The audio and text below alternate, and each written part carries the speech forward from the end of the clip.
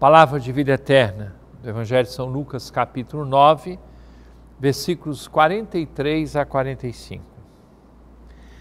Naquele tempo, todos estavam admirados com todas as coisas que Jesus fazia.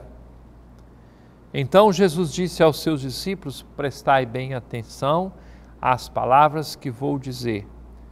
O filho do homem vai ser entregue nas mãos dos homens. Mas os discípulos não compreendiam o que Jesus dizia. O sentido lhes ficava escondido, de modo que não podiam entender, e eles tinham medo de fazer perguntas sobre o assunto. Caríssimo irmão, caríssima irmã, os discípulos que Jesus chamou, que escolheu, eram homens muito simples e eu diria muito parecidos conosco. Sabiam as coisas comuns da lei de Deus, lá do Antigo Testamento, tinham as suas práticas religiosas, tinham a sua profissão, mas não entendiam tudo. O cristão também no dia de hoje, muitas vezes ele não entende tudo, mas o Espírito Santo sopra dentro dele e ele se dispõe a seguir a Jesus. Aliás, essa história de compreensão das coisas de Jesus me leva a propor algo muito simples. No segmento de Jesus, às vezes nós queremos primeiro entender aqui. Quando o início é no coração.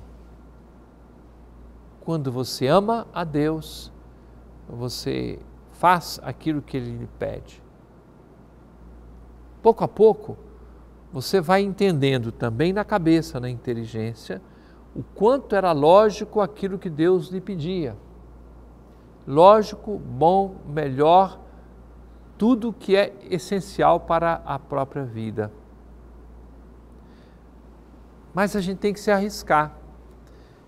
Quando você quer bem uma pessoa, você pode dizer que já a conhece até o fundo do coração. Pensem, tantas pessoas que me acompanham agora são casados, casadas. Será que essas pessoas podem dizer que já conhecem totalmente, destrinchando a outra pessoa? Não.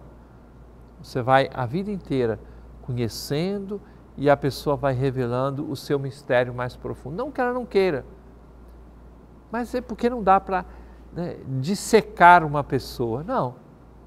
As coisas de Deus, mais ainda, são assim.